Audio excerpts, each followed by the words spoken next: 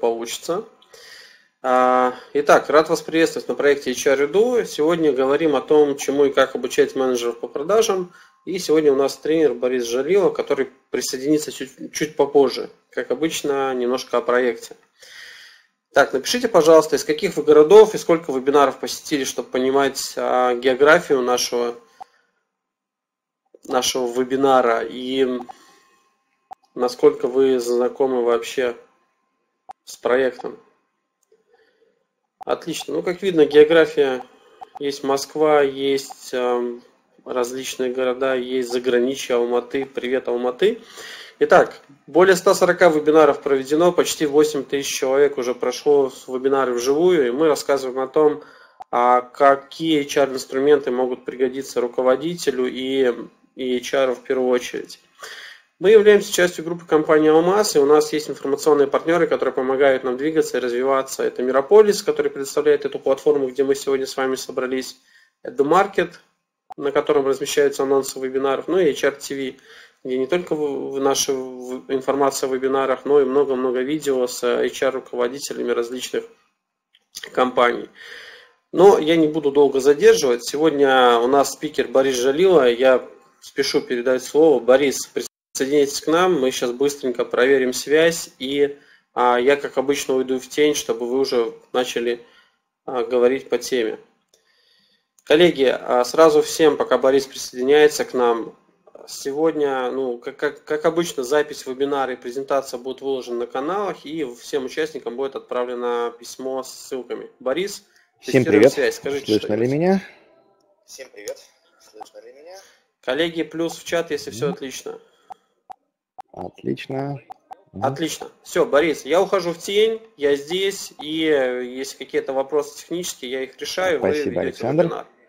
Спасибо Хорошо. большое. Есть примерно часик, чтобы обсудить все-таки чему и как обучать э, своих продажников, свой отдел продаж.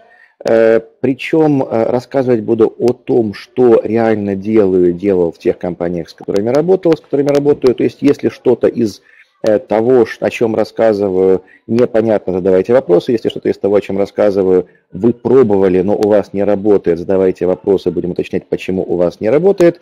Ну, в общем, буду рад, если будем общаться и более плотно, более конкретно задавайте вопросы, управляйте, пожалуйста, процессом.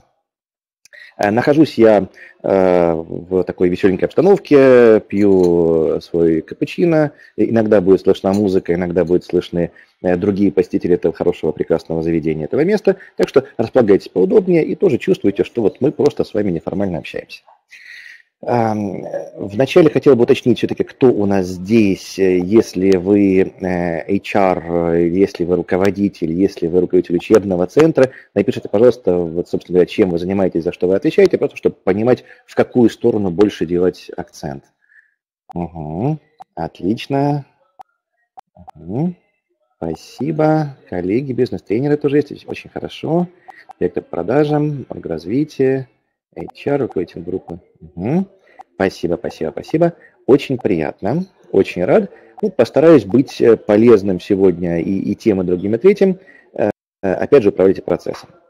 Э, начнем с очень простого вопроса. Я постарался нарисовать перед вами на Слайде, который вы перед собой видите, такую красивую жирную точку, э, и прошу вас просто написать в чат вот э, ваш ответ, ваша версия, что это такое, что вы перед собой видите. В общем, вопрос очень простой, что вы перед собой видите. Шайба, маленький круг, точка. Вот слово точка не надо, а другие варианты, да. Начало, круг, еще, глаз, глаз, цель, солнце, черный круг Малевича, да жирная точка. Что еще? Еще, еще, еще, еще варианты. Мало. Еще варианты. Угу, затмение. Угу. Начало чего-либо. Что вы перед собой видите? Отверстие, выход в другое пространство. Вот интересное дело. Уважаемые коллеги, спасибо за массу вариантов. Вот, наконец-то, Анна написала фразу и логотип э, очень хорошо. То есть, Э, площадь белого листа достаточно большая, площадь маленькой точки очень маленькая, но видим мы обычно точку. Да, кстати, вот еще перед, перед вами тренер пляшет уже несколько минут, э, видим чат с коллегами, вот так часто бывает, что мы видим что-то одно, видим точку, концентрируемся, а на самом деле есть э, многое вокруг, то, что не замечаем. Наша задача сегодня в течение этих 50 минут пообщаться, посмотреть на то, что, может быть, не замечаем, на что не обращаем внимания, но что очень важно, когда мы обучаем наш персонал. Постараюсь э, поделиться вот некоторыми инструментами для этого. Но вначале прошу прошу дать обещание. Сейчас скажу, какое обещание, причем не, не мне, себе дайте обещание. Э, пообещайте, пожалуйста, э, как люди, которые отвечают за э, бюджеты на обучение, за обучение персонала, за обучение своих сотрудников, либо полностью отвечают за своих сотрудников, за свой бизнес. Пообещайте, пожалуйста, что вы с сегодняшнего дня не будете тратить деньги на обучение отдела продаж, по крайней мере. Сейчас объясню, эм, объясню почему. Дело в том, что зачем тратить, если можно инвестировать? Э, основной такой лейтмотив сегодняшнего разговора должен быть очень простым. Э, в обучение э, продажников не нужно, вернее, на обучение продажника не нужно тратить деньги, можно инвестировать, и мы посмотрим, как инвестировать с максимальной отдачей, с помощью каких инструментов это возможно. То есть на обучение мы не тратим, в обучение мы инвестируем. Причем лично я верю, что можно инвестировать в обучение с максимальной отдачей. То есть это самая такая серьезная, интересная и выгодная инвестиция в бизнесе. То есть, по сути, обучение – это такая же бизнес-задача, как и любая другая бизнес-задача. Это бизнес-задача по ряду KPI. А, начну издалека немножечко. Я долгие годы искал формулу успеха. Формулу, с помощью которой можно э, добиваться любого успеха в любой сфере деятельности. И, наконец-то, я ее нашел. Сейчас а, я с вами ею поделюсь. А, верите вообще тому, что сказал? Да, нет, так, кратко. Да, нет, плюс-минус. Про формулу успеха. Нет. Кто-то верит, кто-то да, кто-то улыбки. Спасибо, плюс-минус. Ага, ага. Не, на самом деле верить надо. Если, если чего сказал, то сейчас сделаю. Вот сейчас поделюсь формулой успеха. Более того, она перед вами. Так что зря не верите. Формула успеха очень простая. U – это успех, U равно А умножить на К. Где А – это, естественно, что? Подскажите кто-нибудь. А – это у нас что?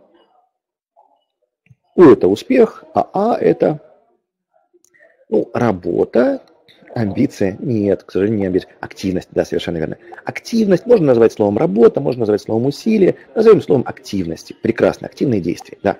Если э, у нас есть какие-то активные действия в сторону вот этого самого У, э, то есть шанс, что получится результат. Если не получается результат, то, возможно, у нас нет активных действий в сторону этого самого У, то есть успеха, то есть нужного нам результата. Э, я говорю не о любых действиях, не о любой активности, а о цели направленных, э, результативных э, действиях, вернее, не обязательно результативных, но целенаправленных, направленных на результат действиях. Естественно, активности не всегда, активные действия не всегда получаются успешными. Ну, это естественно, да? У них есть КПД. И вот К это как раз КПД или коэффициент конверсии этих самых действий в э, успех, в результаты, которые нам нужны. То есть, если нам нужны больше результаты, э, все очень просто. Нам нужно поднимать э, либо первый множитель, то есть активность, либо второй множитель, то есть КПД, коэффициент конверсии. Ну, а еще лучше, как говорил Винни-Пух, и меда, и молока можно без хлеба, то есть еще лучше поднимать и то, и другое. Собственно говоря, все, что мы будем делать в обучении персонала, мы будем делать для того, чтобы поднимать активность, и для того, чтобы поднимать э, КПД. В чем измеряется активность, спрашивает Александр. Э, спрашивает Александр да? Активность – это количество действий. Например, если мы говорим о продажах, то активность может быть в виде количества исходящих звонков, которые сделал ваш менеджер по продажам, или количество встреч, которые он сделал, или количество человек, к которым он подошел на выставке, на которой он работает, или, например, количество отправленных каких-то сообщений, предложений – или, например, э, количество э, клиентов, которым он предложил данный конкретный товар, либо данную конкретную услугу. Ну, а К обычно это либо процент, либо соотношение. То есть процент, либо соотношение. Э, чаще всего в продажах мы это называем воронкой продаж, либо конверсией. То есть какая-то часть активности завершилась результатами, какая-то часть не завершилась результатами. Соответственно, поднимаем мы и первое, и второе. Э, ну и если говорить о продажах, например, э, обучение отдела продаж, обучение э, менеджера продажам, то главная цель у нас не просто какой-то абстрактный успех, главная цель у нас рост прибыли, рост прибыли возможно за счет роста продаж и роста рентабельности. Второе сейчас немножечко опущу, поскольку не тема сегодняшнего разговора, ну а по поводу первого пару слов все-таки скажу, за счет чего возможен рост продаж.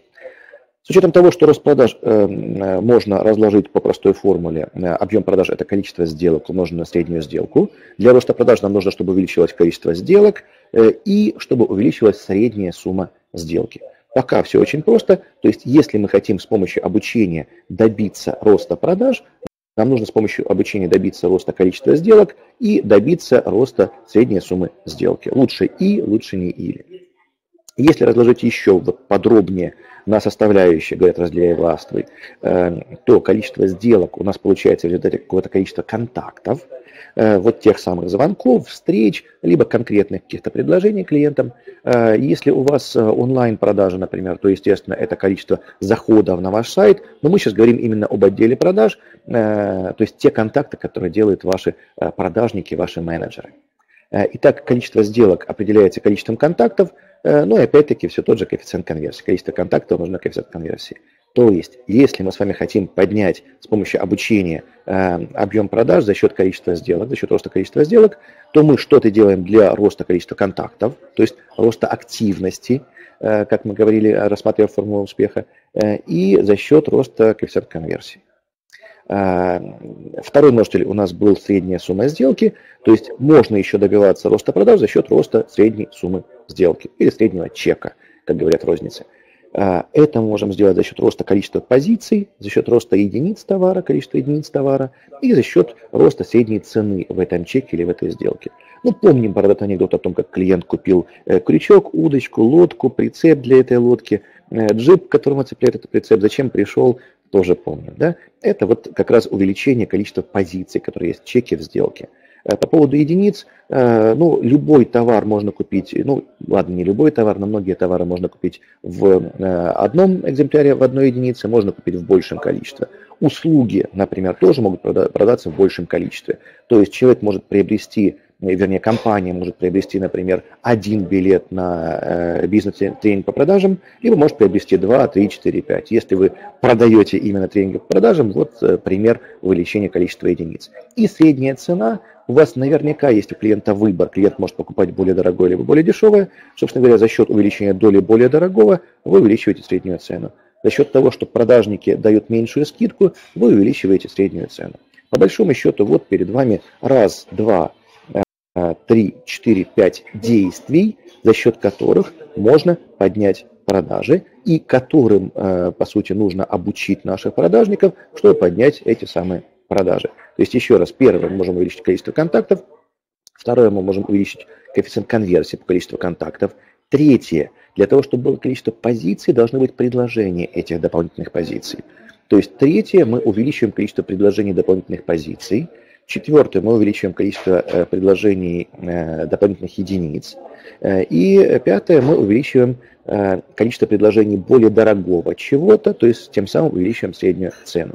Естественно, и в предложении дополнительных позиций, и единиц, и более дорогого чего-то у нас тоже будет коэффициент конверсии, то есть и там, и там, и там, и там нам нужно еще снова-таки поднимать коэффициент конверсии по этим предложениям. Пока все просто, пока все понятно. Более того, хочу сказать, что на основании этого мы с вами можем выделить 8 э, основных, ну, либо если добавить еще в процентном соотношении, то есть процент выполнения плана, например, то 9 уже будет, 9 э, основных э, показателей или KPI любого тренинга, любого обучения нашего отдела продаж, наших менеджеров по продажам.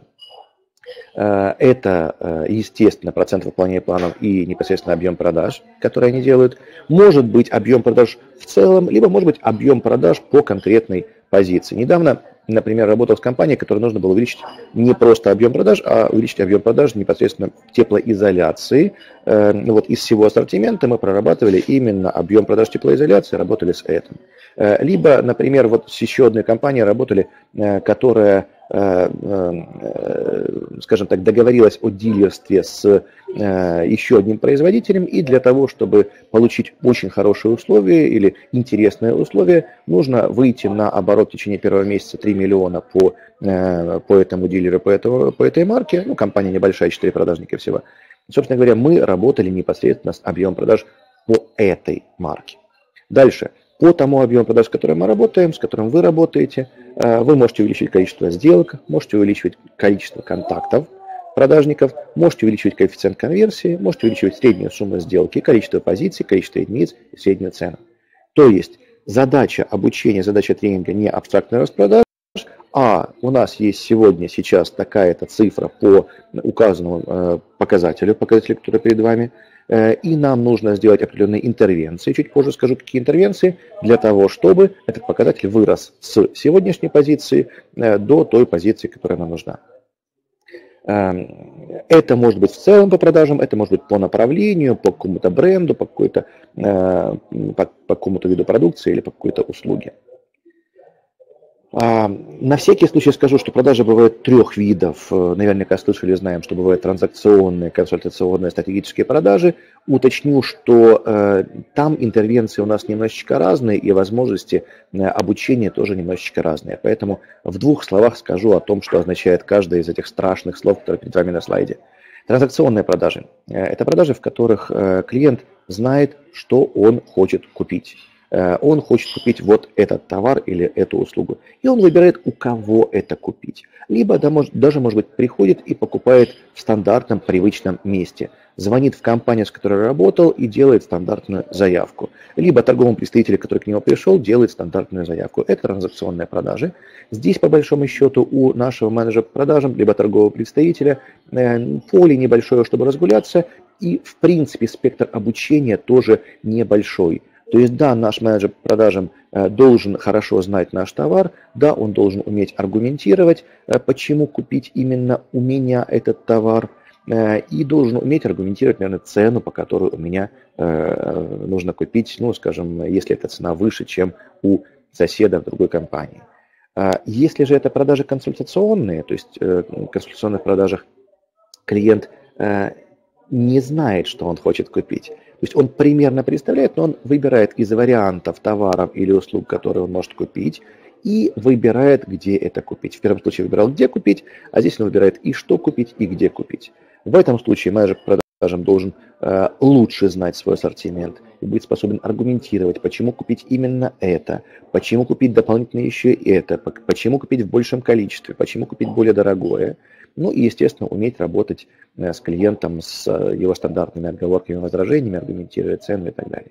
Тут уже больше своего творчества, а значит больше э, и поле для обучения, для развития компетенции нашего продажника. Чем выше требования в этом виде продаж, тем, соответственно, шире и спектр того, чему мы должны обучать. Ну и стратегические продажи – это продажи, в которых клиент еще не знает, чего он хочет.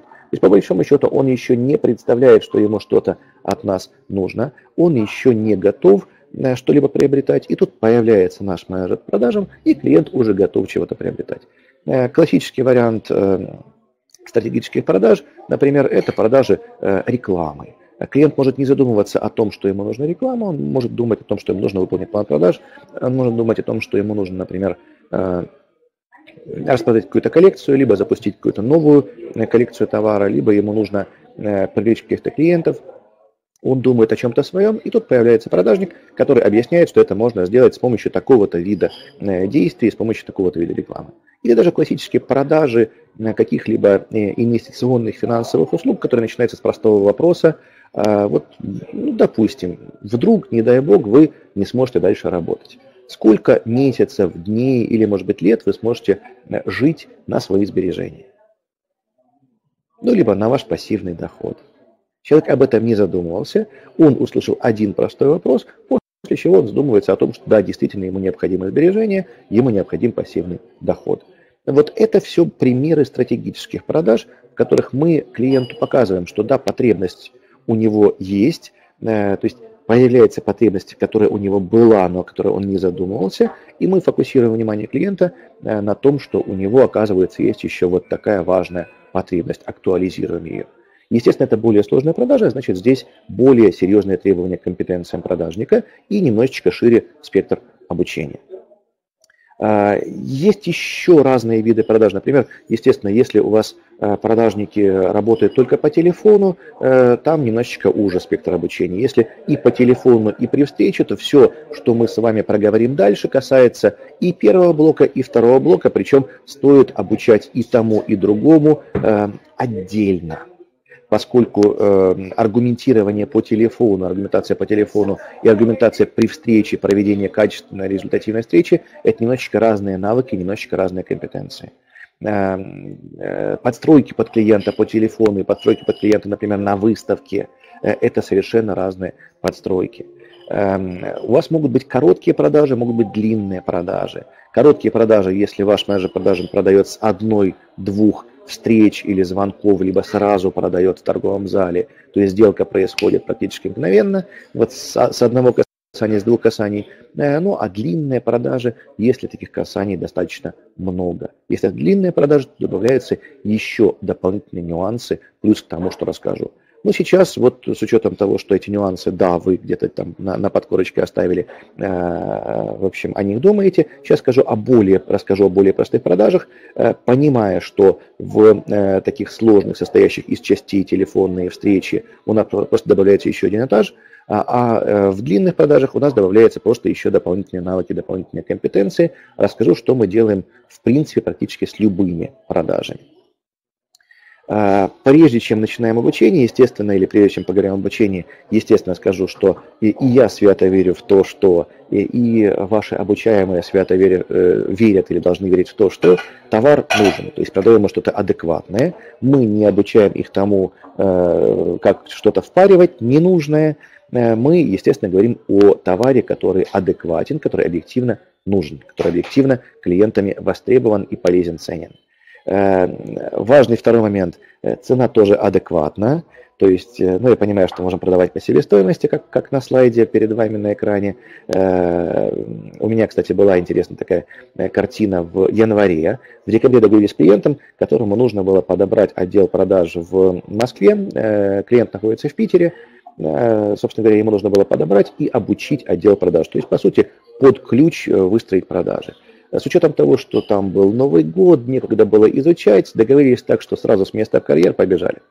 15 эм, января, э, с 15 января, примерно по 25, 25 января подобрал персонал, э, приступили к обучению, ну и с учетом того, что обучение в том числе включает первые звонки, первые контакты с клиентами, столкнулись элементарно с тем, что цены Эм, новой компании для московских клиентов оказались примерно в 2-3 раза выше, чем э, уже известных, эм, успешных, э, знакомых для клиентов э, остальных конкурентов.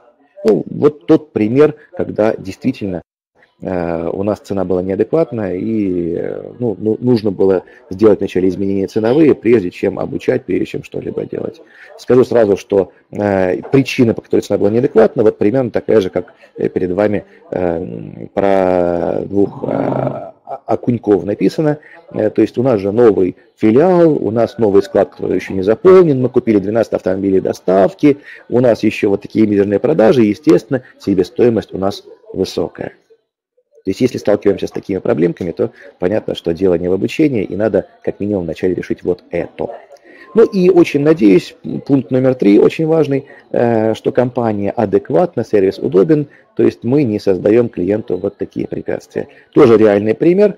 Эм, проработали, сейчас не буду называть компанию на всякий случай, чтобы не было антирекламы чьей-то, проработали с компанией, которая Э, производит, продает э, теплоизоляцию, сэндвич-панели там, и так далее, э, проработали следующий момент. Проработали приобретение или процесс схемы приобретения у конкурентов. Выяснили, что для того, чтобы у основного конкурента, опять же не называя его, сделать заказ, клиенту нужно пройти очень сложный процесс регистрации на сайте, Э, по сути, ответить на массу вопросов на сайте. Только после этого ему будет назначен конкретный менеджер, который с ним будет работать. То есть клиент не может э, начать общаться с компанией, с менеджером продажам, не может достучаться до компании, если он не прошел эту сложную процедуру. Ну, собственно говоря, э, мы были на стороне конкурента, поэтому мы этим, естественно, воспользовались, а у конкурента вот примерно так, как на, на слайде и получилось.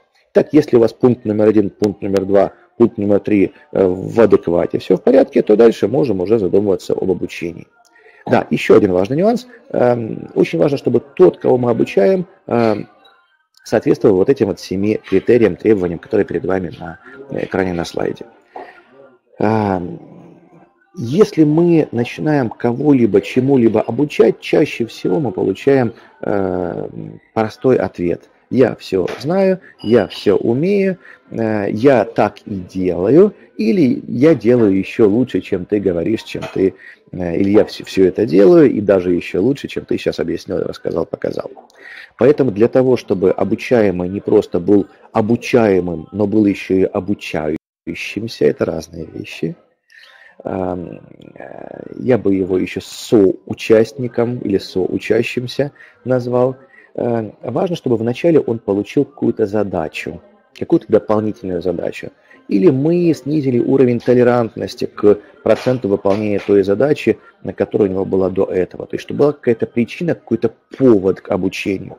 После этой причины, после этого повода, нам нужно от обучаемого получить три волшебных слова – и вот сейчас я прошу вас написать в чат эти три, этих три волшебных слова, без которых обучение невозможно, и после которых обучение в принципе вообще может начинаться.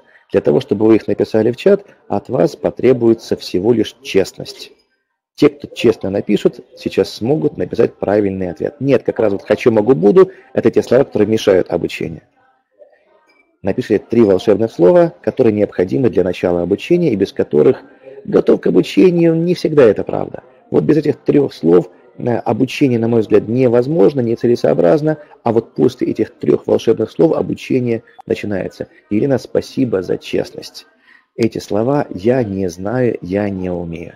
Заметьте, что для того, чтобы ответить правильно на этот вопрос, достаточно было просто честно написать в чат честный ответ. Но э, точно так же, как и мы, и это для нас вполне естественно, так и для наших обучаемых вполне естественно, что наши обучаемые точно так же, как и мы, будут пытаться найти свои какие-то варианты, будут пробовать разные варианты, будут э, делать вид, что знают, будут делать вид, что умеют, либо даже будут верить в то, что знают, что умеют. Но не ранее, чем мы от них получили три честных слова «я не знаю» или «я не умею», эм, они готовы к обучению. Как только получили, прекрасно. Вот раз не знаешь, не умеешь – Супер, вот это старт обучения. Не ранее чем, и это вот первая точка для обучения. Когда мы получили три волшебных слова, э, человек знает, что есть какая-то задача, с которой он, не зная, как справиться, не умеет, как справиться, конкретная задача, не абстрактная, а что-то конкретное, он готов обучаться. Но нужно, чтобы еще он был э, не просто готов обучаться, чтобы он хотел обучаться.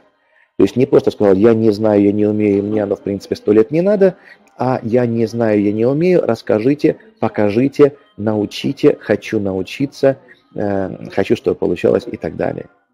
Ну и кроме этого еще важно, чтобы он был мотивирован к исполнению той задачи. Одно дело интересно научиться, чтобы разочек получилось, а другое дело э, он э, обязан выполнить ту задачу, которая у нас в пункте 1, или ему необходимо выполнить ту задачу, которая в пункте 1. Э, то есть еще возникает такой вопрос, а что случится, если он не выполнит? Что будет, если он не выполнит? Если ничего, ну как бы ничего, вот ничего, столько он и изучит, столькому он и научится. Если же э, при невыполнении задачи э, он получает э, минус, при выполнении задачи он получает плюс, желательно двойная мотивация, э, то значит есть шанс, что по пункту 4 у нас все в порядке, у нас плюсик, он мотивирован. Пятый момент, пятый элемент или пятый критерий требования к обучаемому, он должен быть обучаем. То есть обучаемый должен быть обучаем. Как это проверить? Э, ну, в принципе, обычно достаточно просто проверить. Говорят, что профессионализм в мелочах, в деталях. И вот обучаемый человек эти мелочи, эти детали, эти отличия должен видеть. Если он хотя бы видит вот эти отличия, эти мелочи, детали, то он обучаем, и есть возможность э, сказать ему, э, ну, например, вот, э, э, вот как ты делаешь, вот как нужно делать, э, найди 10 отличий. Нашли 10 отличий, теперь устрани их. Например, э, вы можете попросить сотрудника предоставить аудиозапись его звонка клиенту. Э, или инсценировать, разыграть и снять на видео э, какую-то встречу с клиентами, или торговую точку, э, или какую-то ситуацию в переговорах. Есть запись того, как человек это делает. Есть, ну, я называю это селфи, аудио селфи, видео селфи. Есть селфи того, как я это делаю. Напомню, что если селфи нет, то я вам, как ваш продажник, как ваш сотрудник, скажу на любые ваши предложения, демонстрации того, как надо, я скажу, я так и делаю. А если есть селфи, тут уже отвертеться не смогу. Да, я вот делаю вот так, и вы мне дальше показываете чье-то селфи, на которое можно равняться. То есть тот э, звоночек, ту аудиозапись, либо ту видеозапись, которую мы считаем эталоном. Вводим новое понятие, новый термин – аудио-видео-эталон. То есть мы не просто рассказываем, как хорошо, как правильно, мы показываем аудио-видео-эталон, как это должно выглядеть как нужно делать. Ну, в некоторых случаях фотоэталон, например, э, как что-то должно выглядеть в итоге, если у нас мерчендайзер, либо если у нас там что-то связанное с внешним видом, с отделкой и так далее. Ну, вернемся к продажникам. Итак, у нас есть селфи сотрудника и у нас есть эталон. Ну и дальше простая детская игра. Найди 10 отличий э, в том, что делаешь, в том, как делаешь, в том, что говоришь, в том, как говоришь. Э, либо я сотрудник, ваш сотрудник, нашел эти 10 отличий, в таком случае следующее требование ко мне очень простое. Устрани эти отличия и запиши еще раз э, без этих отличий. Запиши еще раз, где будет вот так, как в эталоне. Неважно, аудио, видео. Вот предъяви доказательства того, что ты можешь сделать точно так же. Не просто расскажи, что можешь, а предъяви аудио, видео доказательства. В некоторых случаях, правда, сотрудник э, в ответ э, на то, что мы показали ему, вот твое селфи, вот э, как надо, вот эталон, отреагирует немножечко по-другому. Вот примерно так, как в этом видеоролике. Коротко, надеюсь, он понравится.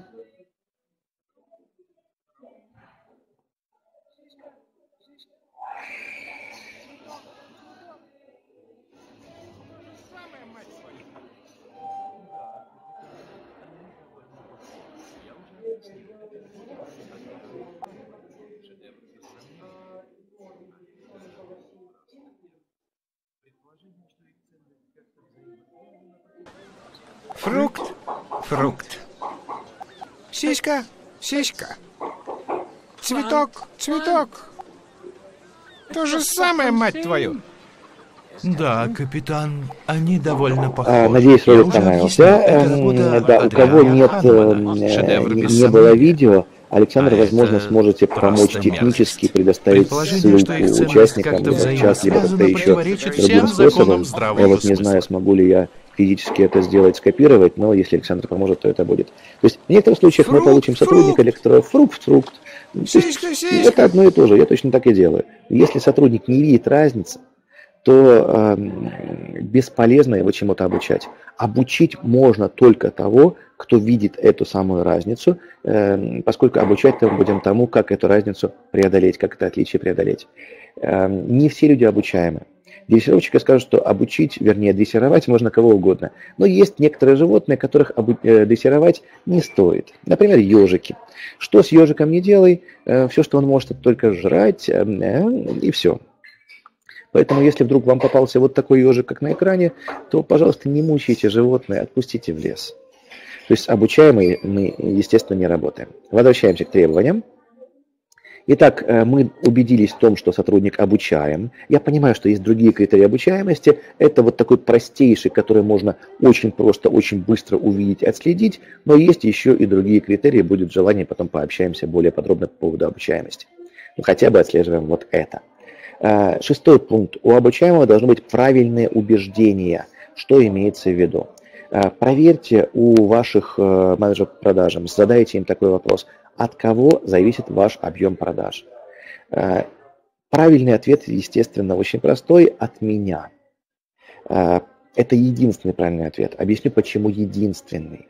Если я, как ваш продажник, не верю в то, что э, результаты зависят от меня, то есть, если я считаю, что результаты зависят от клиента, ну как, ну как я могу поверить? Клиент решит, купит, не, не решит, не, не захочет, не закажет, захочет, закажет больше, не захочет, закажет меньше там и так далее. Или от ситуации на рынке зависит, или от конкурентов зависит, а не от меня зависит, то что получается? Раз зависит не от меня, то не мне что-либо менять в действиях для изменения результата. Ну и второй нюанс, о котором стоит задуматься, если зависит не от меня, то, наверное, и не мне нужно платить за результат. Логично? Логично. И вот имеет смысл общаться, работать только э, и обучать только тех продажников, только тех менеджеров продажи торговых представителей, которые верят в то, что результат зависит от них. Если они верят, то тогда можно с ними разбирать. Вот твои сегодняшние такие действия привели к таким-то результатам. Хочешь так, таких-то результатов, нужны такие-то действия. После чего человек вполне возможно будет менять действия, внедрять и так далее. Если он не верит в то, что изменение его действий как-то повлияет на результаты, естественно, в большинстве случаев он делать не будет, не сможет. Ну и если он верит в то, что у него э, компания, как было на картинке с лестницей, э, что у него э, товар не круглые колеса, а квадратные, ну и цена, как у двух окуньков, то, естественно, тоже это не тот случай, когда менеджер продажам нужно обучать, нужно поработать с убеждениями. Хотя чуть позже покажу, что тренинги бывают разные, есть и тренинги убеждений, естественно. Ну и на всякий случай тоже седьмой пункт озвучу – Э, обучаемый при этом должен быть обеспечен всем необходимым. Если у менеджера продажам нет товара, чего продавать, вот реальный пример сейчас одной из компаний, где обучаем продажам, продажи э, выросли за, э, ну, там, за, за несколько шагов, за несколько сессий продажи выросли примерно на 40%, 42-43%, 40% по разным позициям просто. Э, но у э, компании нет запаса товара, и получается, что последние полторы недели э, ребятам отдела продаж нечего продавать. Ну, точнее, есть те запасы, которые лежат на складе там год, два, три, там, полгода неликвиды, но нет основного товара, э, с которым начали работать их клиенты. Э, естественно, менеджер продажам должен быть обеспечен всем необходимым, например, той же IT-поддержкой, э, то есть той же CRM-системой, чем-то еще, для того, чтобы менеджер продажам не, э, ну, не тратил свое время на какую-то неважную, не, не продажную ерунду. Седьмой пункт тоже, пожалуйста, проверьте, потому что обучать в тот момент, когда продажнику продавать нечего, либо его время на 90% занято решением каких-то проблем организационно-технических, ну, бесполезно, бессмысленно в такой момент обучать, нужно вначале решить проблему. Итак, допустим, что у вас есть готовый продажник, соответствующий 7 пунктам, либо хотя бы частично соответствующий. Э, при этом, естественно, он обучаем в том числе. Эм, у вас есть инструменты, ресурсы для обучения, причем это не грабли для самообучения. Да? Э, давайте посмотрим, какие же инструменты, ресурсы у вас есть и какие виды тренингов возможны. Эм, я считаю, что есть пять видов тренингов. Обычно выделяют пять видов тренингов. Э, есть тренинги мотивирующие, есть тренинги ценностей, убеждений э, или тренинги отношений, тренинги знаний, тренинги умений и навыков и э, нечто, что можно назвать тренингом, можно назвать консалтингом. Ну и, естественно, все это может быть в виде винегрета, э, и салата оливье, вот какая-то смесь еще и с майонезом и так далее. Что такое мотивирующие тренинги? Это тренинги, после которых ваши менеджеры по продажам э, бодры, веселы, энергичны, хотят горы свернуть, но единственная проблемка, если тренинг только мотивирующий, это получается, что подняли из окопа там все вперед, а куда бежать потом забыли сообщить. То есть мотивация есть, желание активничать есть, двигаться есть, желание бежать и зарабатывать есть, а вот куда именно бежать, где враг и где оружие, э, и, собственно говоря, сообщить забыли. Поэтому я считаю, что мотивирующий тренинг – это приправа к э, любому тренингу. То есть правильный вариант мотивирующего тренинга, если это составляющая часть, если это приправа, которой в э, правильных пропорциях посыпали любой из остальных тренингов. Э, из одной только приправы блюдо не сделаешь. Э, ну и без приправ э, блюдо тоже пресно. Тренинги ценности, убеждения, отношений – это тренинги, в результате которых мы корректируем какие-то ценности, убеждения, отношения. Например, опять-таки, если менеджер продажам считает, что сейчас кризис, клиенты не покупают, крокодил не ловится, кокос не растет, а мы показываем, что результаты зависят от тебя, от каких-то действий, и сотрудник в результате этого верит, что от таких-то моих действий зависит так, такой-то результат, это тренинг убеждений. Либо, если продажники э, на самом деле не совсем продажники, а назовем их таким словом э, передасты. Вы знаете, что есть менеджер по продажам, есть менеджер, а есть передасты. Э, кто такой менеджер? Э, клиент сказал, что цена высокая, э, товар плохой, Эм, вот, качество плохое и так далее, э, что сделает менеджер? Он справится с этим возражением клиента. А, а что сделает передаст? Он передаст эту информацию вышестоящему руководителю. Ну вот, собственно говоря, в чем основное отличие.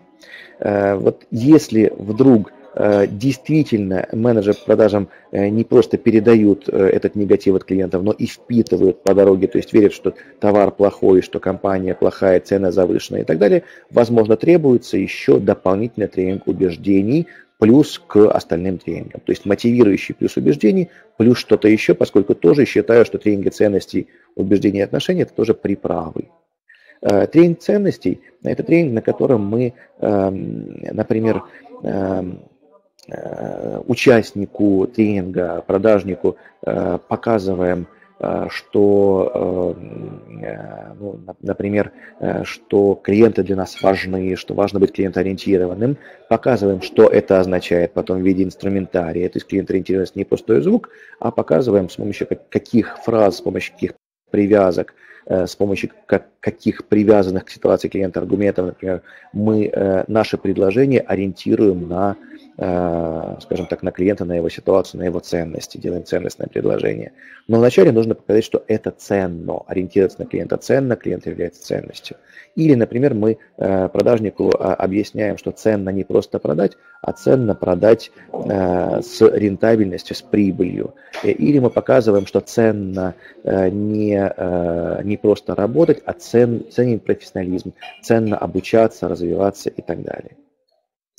Тренинг знаний. Э, наиболее распространенные тренинги, где мы э, даем нашим продажникам, нашим менеджерам продажам какие-то знания либо товара, либо техники продажи, либо чего-то еще. Ну и чаще всего то, что называют тренингом продажам, к сожалению, относится к третьей категории. Хотя я э, считаю, что ну, этого в принципе недостаточно, но это уже мое личное мнение.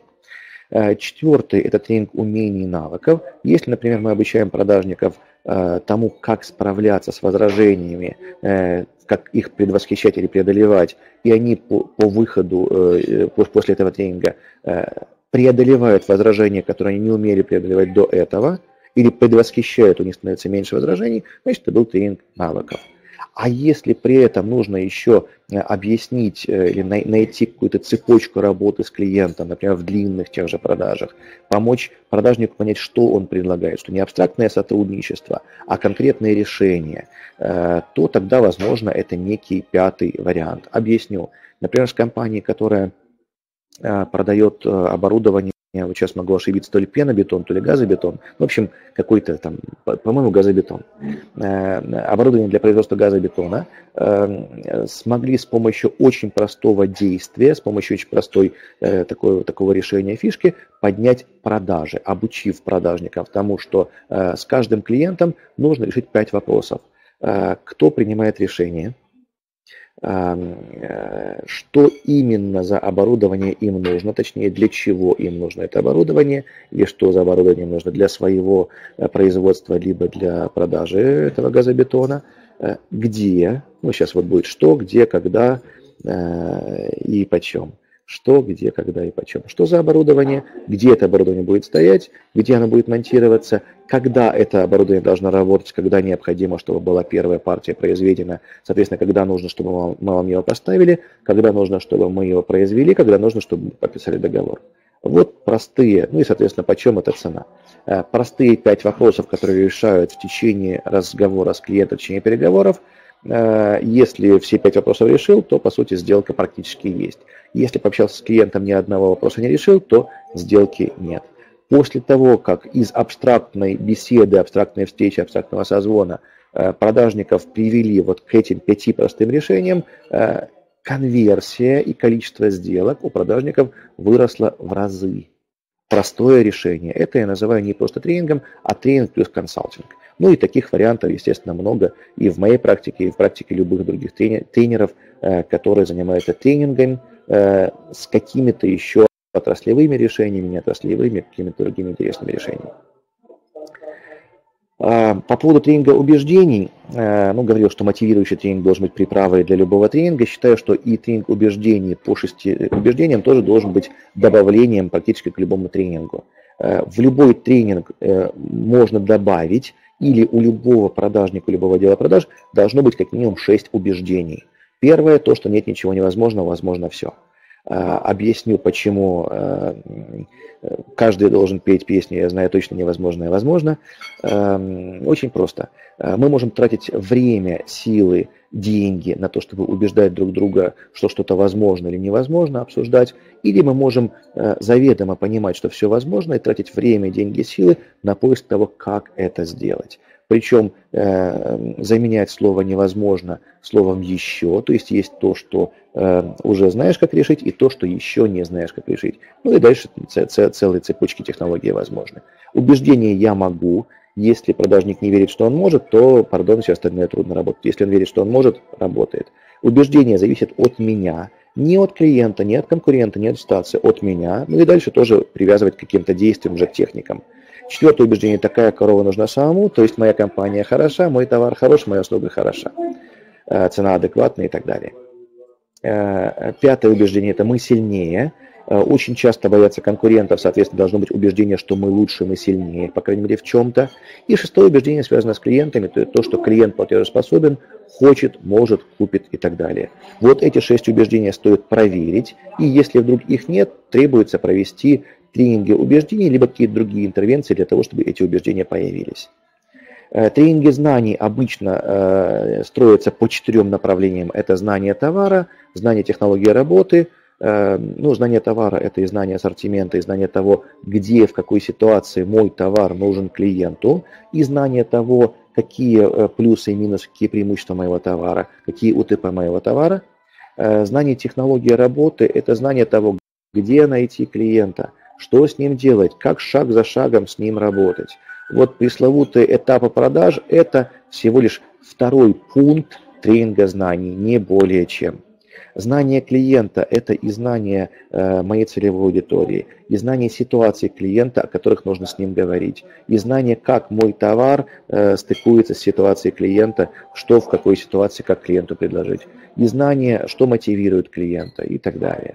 Э, ну и тоже может быть знание особенностей клиента по каким-либо психотипам. Сейчас не буду останавливаться на этом, но знание особенностей клиента, к которым можно адаптироваться и дифференцировать инструменты продаж. Ну и знание конкурентов для того, чтобы знать, как отстраиваться и как их побеждать в работе с конкретным клиентом. Ведь воюем, боремся мы ни в коем случае не с клиентом, воюем, боремся мы с конкурентом, но на поле боя э, двух полушарий э, нашего клиента.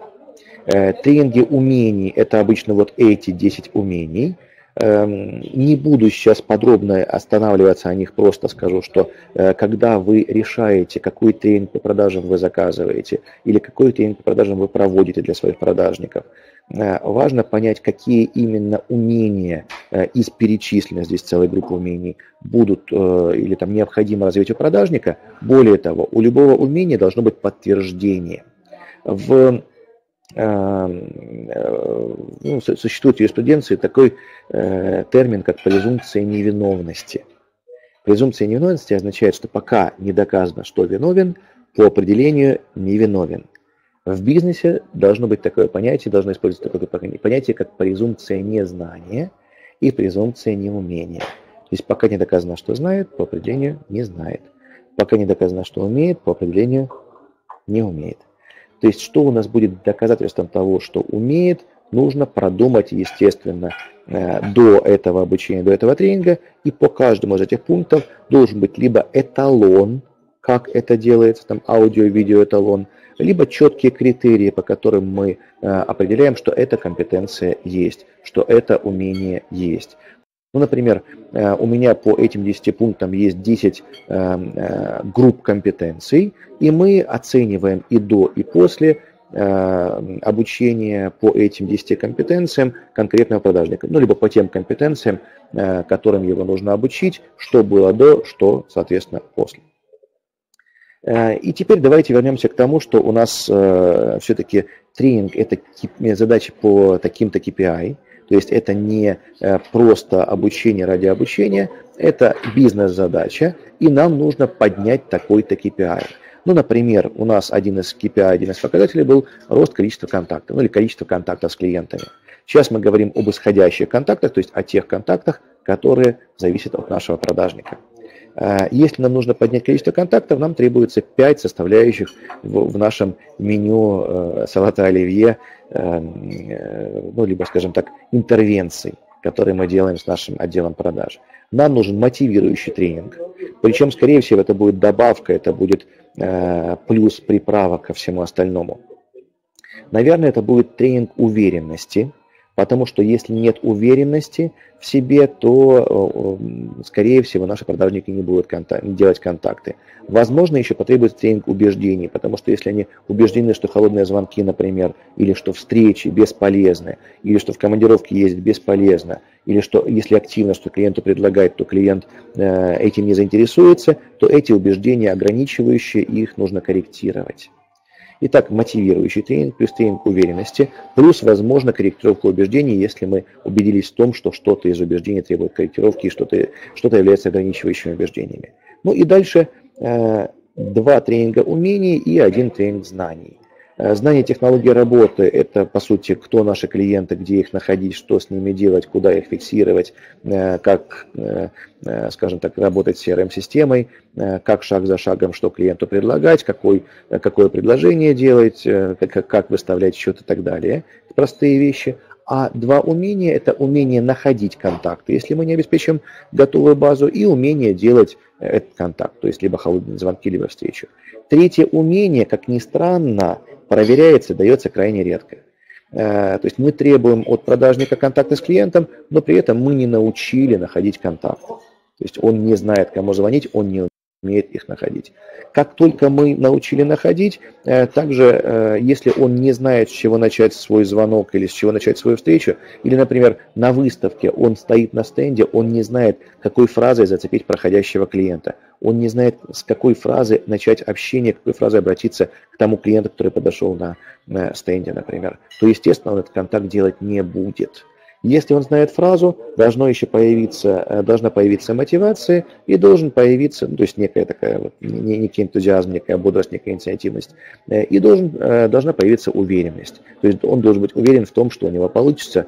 Если все это дали, то есть шанс, что будет увеличение количества контактов.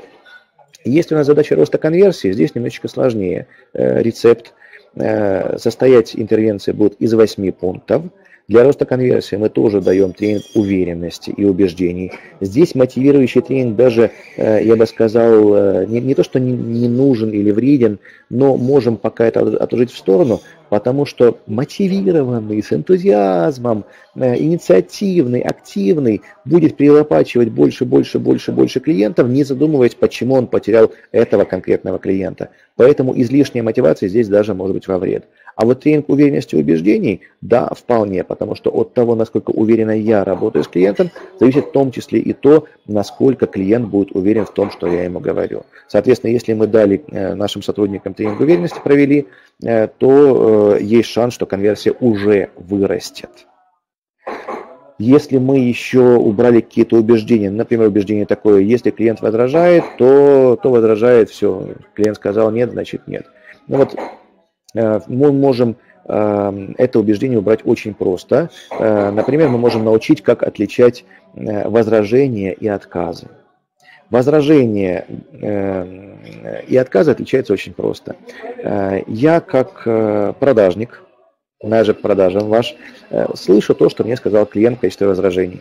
Сажусь и думаю, что мне только что сказали? Мне сказали возражение, то есть мне искать варианты ответов дальше, или мне сказали отказ, то есть мне варианты искать Э, уже не нужно, нужно остановиться и, собственно говоря, и все. То есть, по большому счету, э, я как продажник отказываю себе сам, клиент только возражает. И уже я решаю, что это был отказ. Если мы объясняем это продажнику и даем дополнительные инструменты для того, чтобы он еще и умел отвечать на эти возражения э, и находил под любое возражение ответы, значит, все у нас получится. Бывает такое, что продажники верят в то, что клиент сказал «я подумаю», Эм, э, что если клиент сказал, я подумаю, то это не возражение, не отказ, он действительно будет думать. Вот сейчас повесит трубку, или сейчас вы выйдете из его кабинета, он садится и думает до вашего следующего прихода. Ну, несерьезно, да? Как только продажник понимает, что это все-таки всего лишь возражение, с которым нужно работать, э, это тоже, мы, мы скорректировали убеждение, это тоже позволит дальше проработать умение справляться с таким возражением и поднимет конверсию. Либо если продажник, например, верит в то, что э, когда клиент сказал, что ему ничего не надо, э, он по определению врет. Ну, точнее так, очень легко проверить, врет или говорит правду. Ну, например, прислушивается к э, тому, э, дышит клиент или не дышит. И если дышит, значит врет. Ну, в смысле, значит, ему что-то нужно. Э, если не дышит, уже, ну, значит, сказал правду, значит, ему уже действительно ничего не нужно. То есть пока дышит, значит, ему что-то нужно, и уже моя задача привязать к тому, что ему нужно, то, что, собственно говоря, могу предложить в его ситуации из моих товаров и услуг. Плюс к этим вещам, естественно, прорабатываем знание товара, потому что если я как продажник не знаю товар, то я очень часто не смогу правильно аргументировать, я не то предложу, а при впаривании конверсия гораздо ниже, чем при предложении товара, услуги, которые нужны клиенту в его конкретной ситуации. Э, умение устанавливать контакт, э, умение э, выяснять после установления контакта потребности клиента тоже повышает конверсию. Насчет установления контакта, ВИСТ – это внимание, интерес, симпатия, доверие. То есть как только мы вначале включаем внимание клиента только потом что-то начинаем делать, у нас конверсия растет. Потому что часть клиентов просто нас не услышали, мы не включили внимание и посчитали, что его возражение, то есть точнее его просто отмашка, было возражением, не смогли с ним справиться.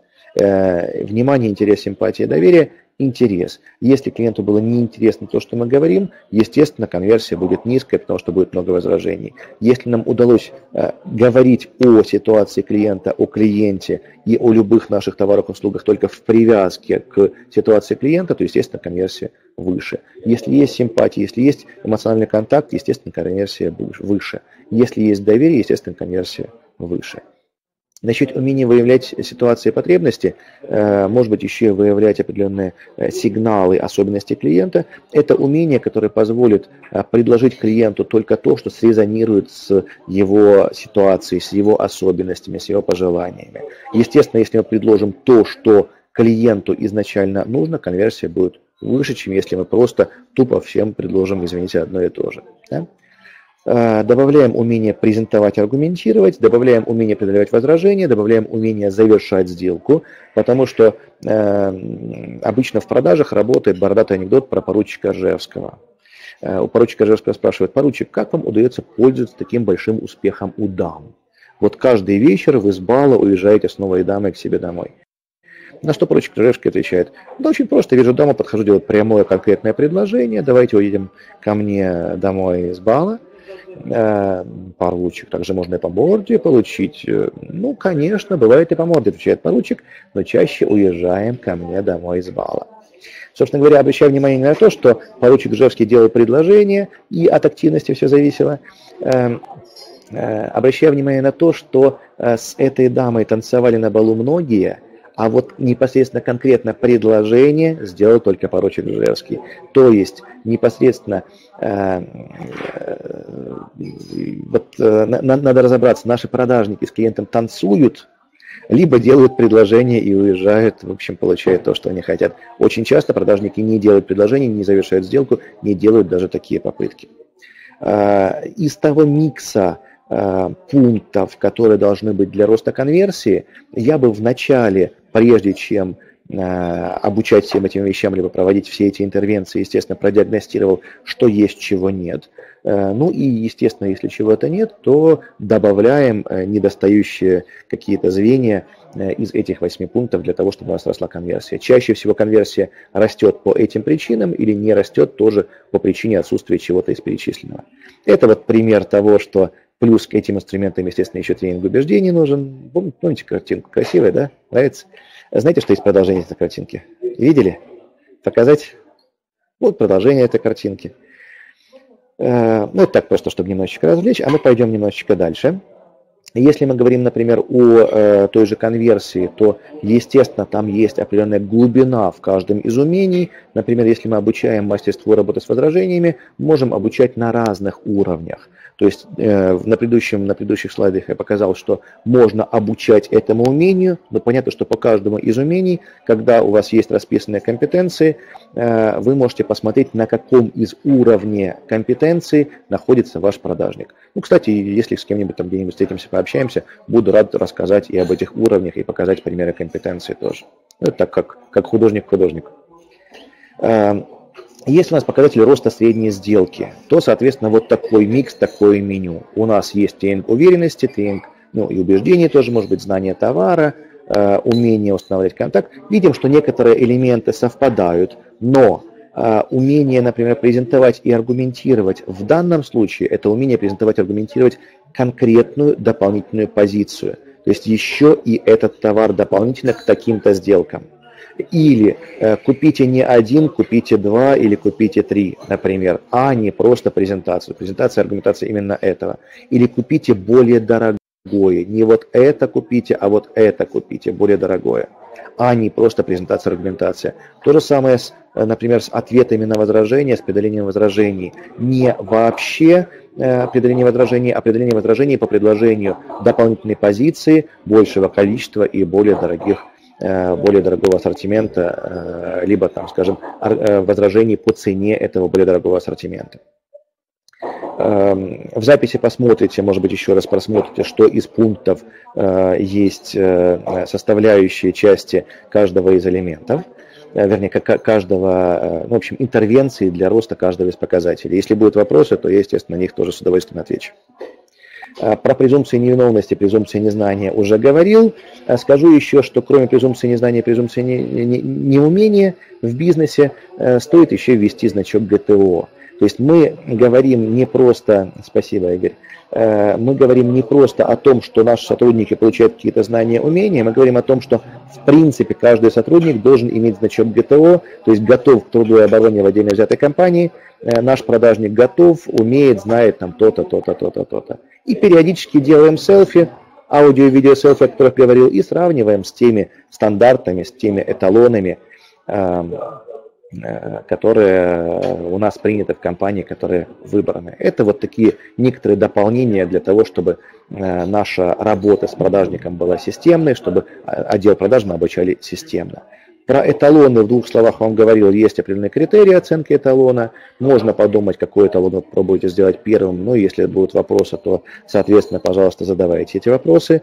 Пример видеоэталона, к сожалению, сейчас показать не могу. Вот, но как-то, может быть, в следующий раз получится. Просто здесь техническая небольшая проблемка.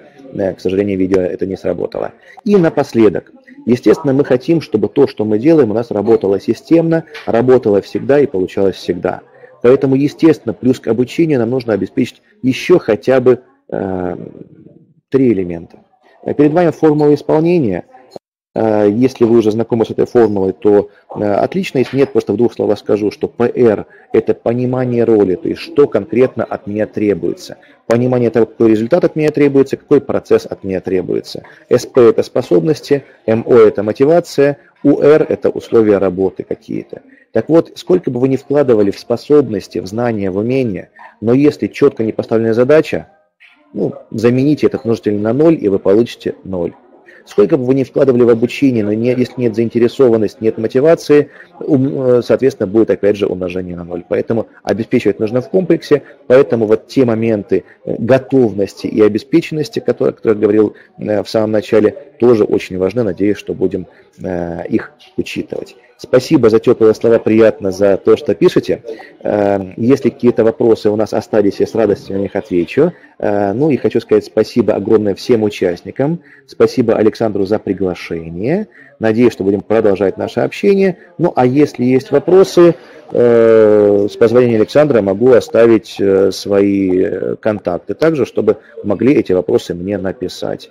Адрес сайта, где можно почитать какую-то информацию, в том числе какие-то статьи интересные, может быть, адрес электронной почты, адрес скайпа. Если будут вопросы, всегда да, рад поделиться. Все контакты есть. Спасибо, спасибо, спасибо большое. А, спасибо. Я завершу вебинар. А, коллеги, значит, презентация вебинара и запись вебинара на наши ресурсы HR.edu. Вы сможете их посмотреть, и, и ссылки будут отправлены всем участникам. Ксения, я отвечаю на ваш вопрос. А, вот здесь у нас находятся социальные сети и внизу ссылка форма регистрации на остальные вебинары. Пожалуйста, заходите. Дякую, белорусы. Ирина Калиласка. А, итак, контакты проекта HR.edu, info HR.edu.ru, мы в социальных сетях. Вот еще раз я повторю, сайт, ну, а контакты Бориса, они будут отправлены вам и связывайтесь с нами. Ждем вас на следующих наших вебинарах. Всего доброго.